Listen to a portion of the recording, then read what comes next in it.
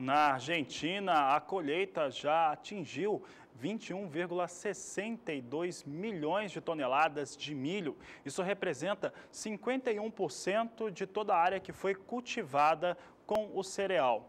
O avanço entre uma semana e outra, de acordo com a Bolsa de Cereais de Buenos Aires, foi de 2,6 pontos percentuais. E isso trouxe um avanço mais forte para a Argentina. E o organismo lá, a Bolsa de Cereais de Buenos Aires, mantém a sua perspectiva de produção de milho na temporada 2016-2017 em 39 milhões de toneladas. Veja os números conosco, você acompanha na Agricultura BR, projeção é mantida em 39 milhões de toneladas, enquanto que os produtores argentinos já retiraram, já colheram 21 milhões 620 mil toneladas do cereal, 21 milhões 620 mil toneladas de milho.